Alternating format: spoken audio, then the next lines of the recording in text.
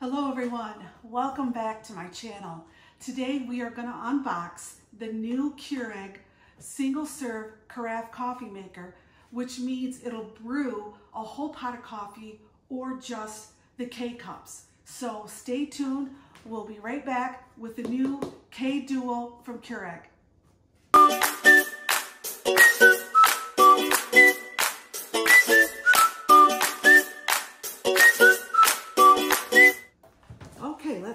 This. Here we go.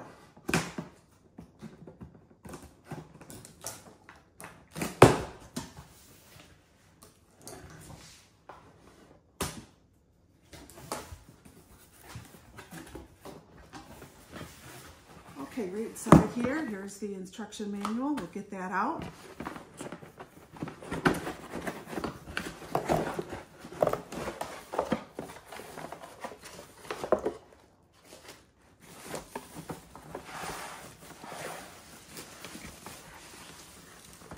And we slide that right out there.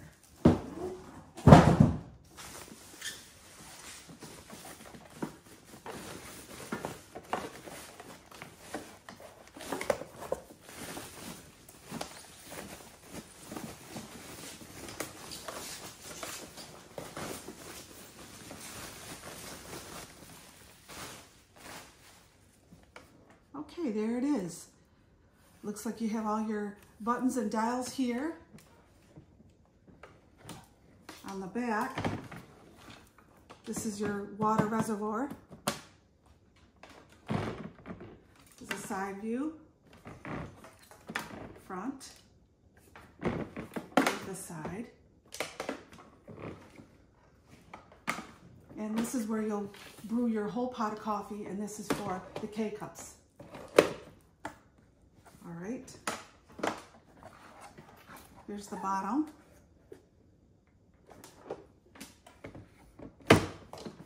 And there's that.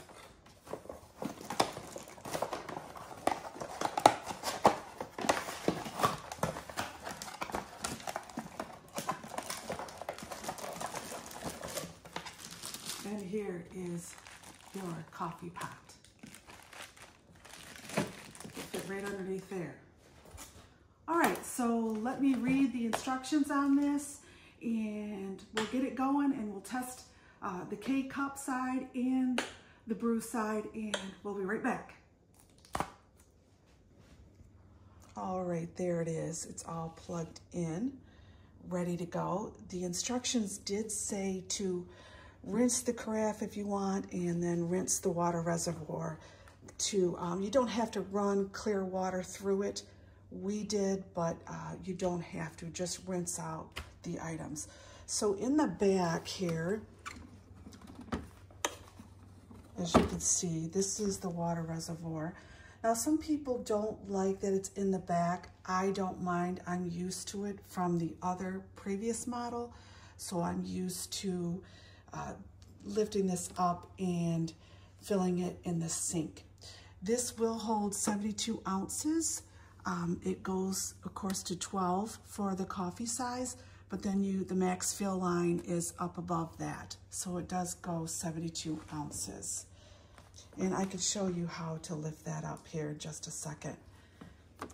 So it will do a 12 cup coffee and it will do your single serve and your iced coffee right here. The extra hot and the strong is also for the single serve. Um, this is for the K-cups and over here, of course, is for the brew. Um, you can also do auto brew, set the time for that, and it'll tell you to add water when you need to or dis descale it. So um, I can show you those functions as well. So also on this side here, you can pull this out if you have a bigger cup to put that under there and use it for larger sizes. And then it just goes right back for your regular coffee cup. So, all right, let me go through some of the functions. So the lid on the water reservoir comes right off easily and back on. And to remove it, you just lift straight up and there you go, it's off. And just put it back on and you're all set. So let's get some measurements of the coffee maker. The height we have is about 11 and a half inches. Um, the length, the length is about 12 and a half from the longest point here. And the width, we're looking at about 11 inches.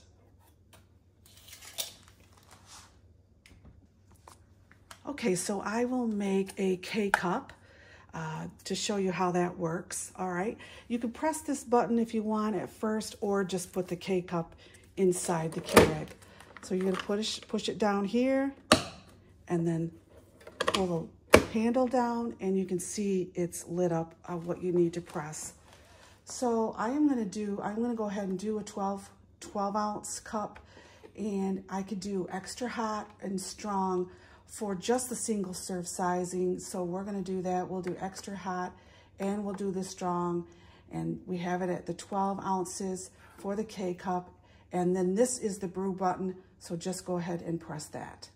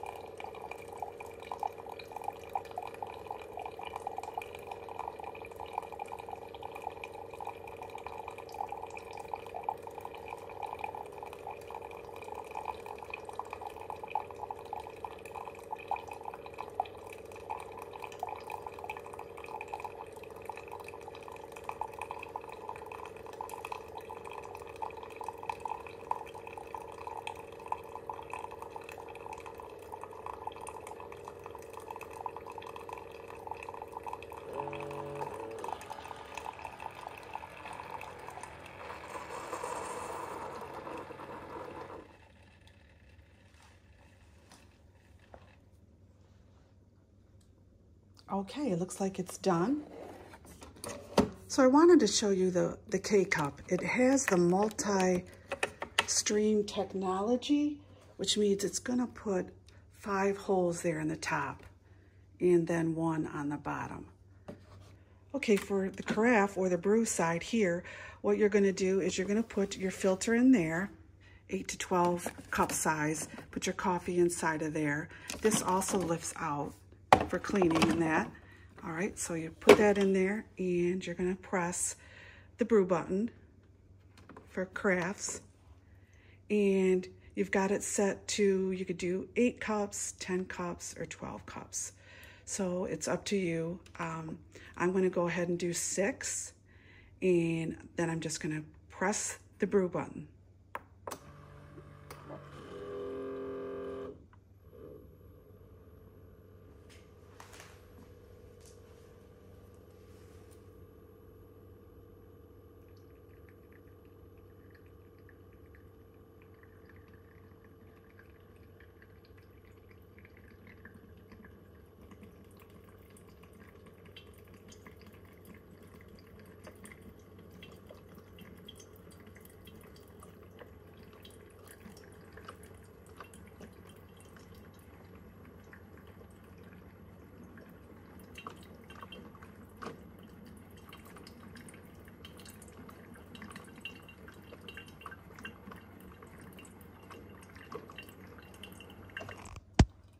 Now it does have a pause and pour in case you do want to go ahead and pour a cup of coffee before it's done. All right, it's done. So let's bring it out here. Take a look. There it is. There's the coffee. And let's see how it pours.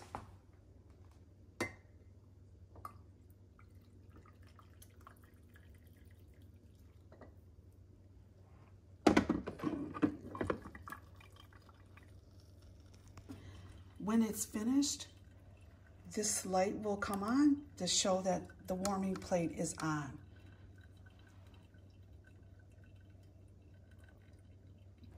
So the last feature I want to show you is the brew over ice here and we're going to try that out right now. So I've got a larger cup so I'm going to go ahead and take this off and put the cup underneath there. And you can see that fits right in there nicely. So I'm gonna go ahead and put my K-cup inside there. Press it down and put the handle down. And then see, it tells me that there's a K-cup inside of there. So what I'm gonna do is hit brew over ice button and hit the brew button.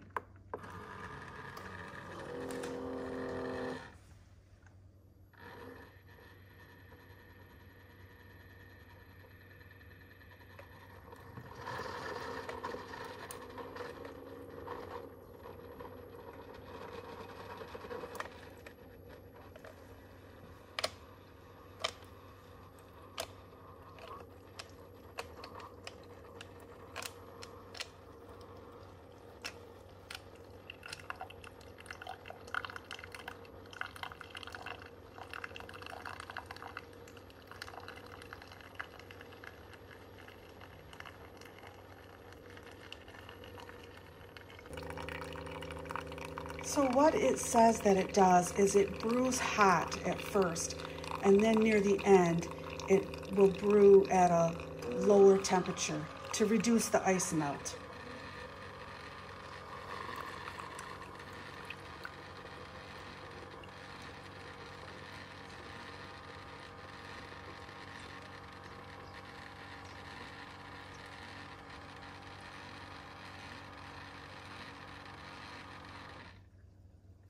And it looks like it's all set. Add your cream or add your sugar and you, you've got your iced coffee. Overall, this unit is pretty quiet. I like the sleeker design of it. And because we do K-cups in the through the weekday and we do a pot of coffee on the weekends, this is perfect. And so I think we're really gonna like this one. And right now, as you can see, because I've made a whole pot of coffee and I did a couple K-cups, it's telling me now to add water, the light's on.